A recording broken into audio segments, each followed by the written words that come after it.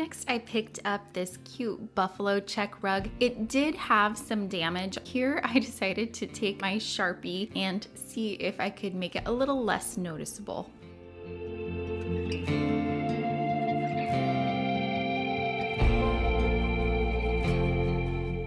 Ultimately, I decided to use this in this covered area by our front door.